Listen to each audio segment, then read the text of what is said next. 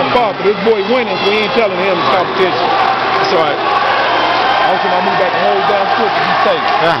That Come on, P.